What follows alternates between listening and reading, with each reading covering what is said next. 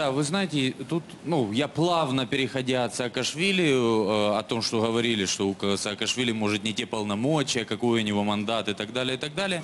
Я хочу сказать о том, что по сути власть не э, дают, власть берут.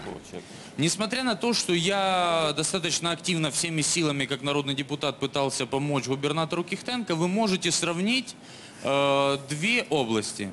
Луганскую область и Донецкую область.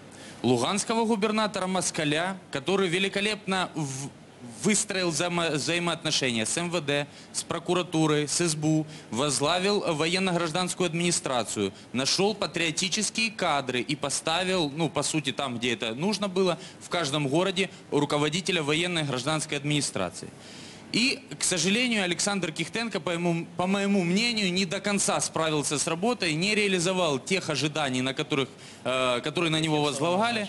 Да, это боевой генерал с таким серьезным стержнем, но тем не менее в- на такой должности в первую очередь, наверное, нужно быть, э, ну, в первую очередь коммуникатором таким.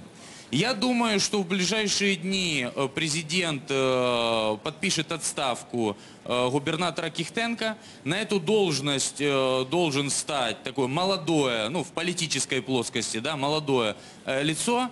Я думаю, что с опытом работы спецслужб, наверняка это будет или работник СБУ бывший, и ну, это должен быть на 100%. Вы так говорите, как будто у вас какой-то инсайт есть. Нет, у меня нет инсайда, я просто знаю о том, насколько долго муссировалась эта тема, и э, я знаю о том, что президент и в администрации президента активно проходили собеседования на, на эту, на эту должность. А вас не А приглашали э, в качестве одного из соискателей? Э, Вы Если знаете, секрет. я, я, Егор без опыта в СБУ. Я думаю, всеми своими силами, как народный депутат, готов помогать новому губернатору в построении, скажем, проукраинской власти в Донецкой области.